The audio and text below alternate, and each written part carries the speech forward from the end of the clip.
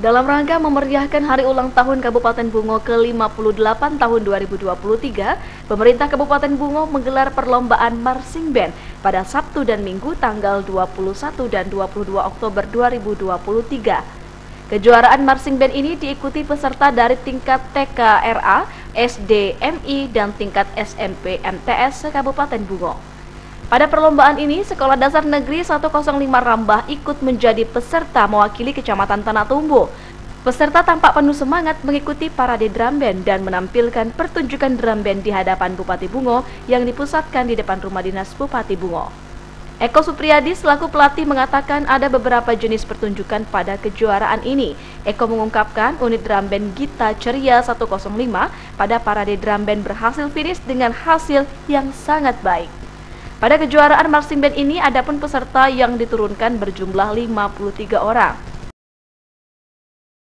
SDN 105 Ramba dengan nama unit marching band kita ceria 105 hari ini mengikuti kegiatan yang dilakukan oleh PDBI Kabupaten Bungo dalam rangka meriahkan Kabupaten Bungo. Hari ulang tahun Kabupaten Bungo mengikuti lomba marching show open marching show Kabupaten Bungo.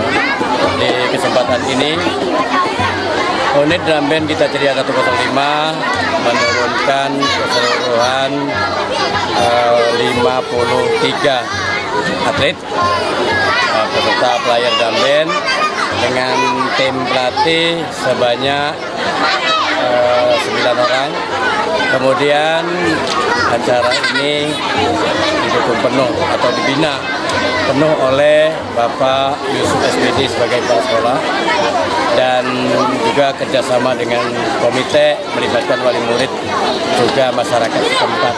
Alhamdulillah eh, ini hari di hari kedua, unit drum band Gita Ceria 105 mengikuti marching show bertempat di gedung XMTK Kabupaten Bungo. Ia menyebut menghadapi kejuaraan marching band ini, siswa terus dilatih agar tampil maksimal. Eko berharap SD Negeri 105 Rambah mendapatkan juara pada kejuaraan ini. Secara keseluruhan latihan kita itu hampir dua bulan.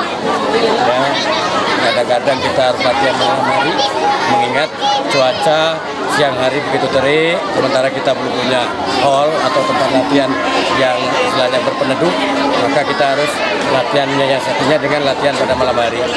Kompetisi tentu target kita adalah juara, tapi adalah hal yang lebih penting bahwa drum band sebenarnya berperan juga dalam uh, membangun kepribadian anak-anak kita. Jadi dengan berlatih drum band, mereka mempunyai attitude lebih baik, kemudian memiliki etika lebih baik, kemudian memiliki responsif uh, dalam berkegiatan dengan baik. Mudah-mudahan ini tercapai dan juga kami target untuk menjadi juara satu di lomba marching ini. Muara Bungo, tim redaksi Bungo TV.